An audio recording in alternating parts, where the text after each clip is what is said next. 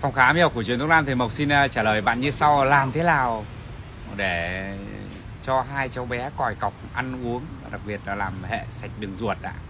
Thì ờ, đầu tiên phải nói luôn là trẻ em còn đang nhỏ Cho nên là đường ruột của nó không có gì là phải phải, phải, phải, phải làm sạch cả. Chỉ là đầu tiên là muốn cho con ăn được ấy, thì là đừng cho ăn vặt nữa. Hôm qua có cái bệnh nhân ở Bắc ờ, Bác Bắc Ninh gọi đến thì bảo là con em 9 tuổi nặng có 20 cân. Nó còi quá thì làm thế nào thì hỏi kỹ ra thì ở nhà ông bà chăm sóc hai vợ chồng đi làm thì ở nhà ông bà chăm chăm sóc thì suốt ngày là cho nó ăn kẹo bánh rồi lung tung linh tinh. Thế nên khi lúc nào nó ngân đặc biệt là cái đường trắng thì nó ngân.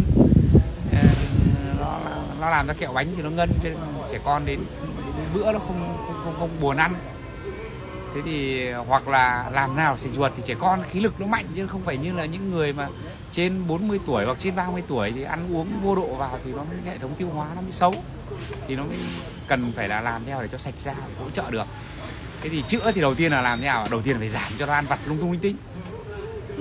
Và không mua nữa thì nó không có để nó ăn không ờ, chiều nó không đưa tiền cho nó đi ra mua quà vặt đặc biệt là ăn kẹo ăn bánh hoặc là ăn bim bim thì nó không thì nó không ăn là vặt nữa thì đến bữa nó sẽ nó đã đầu tiên nó đã, nó đã tạo cái cơn đói để nó ăn rồi.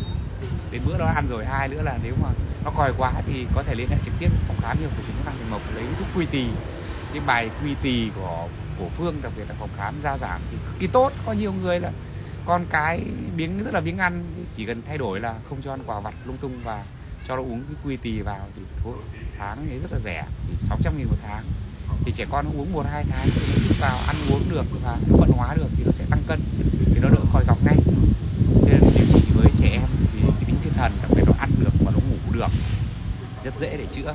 Cái quan trọng nhất là cái cách thay đổi chế độ ăn uống sinh hoạt của cháu bé làm cho nó phù hợp, đặc biệt là để cho hấp thụ được, thì nó sẽ ok hết. Xin chào.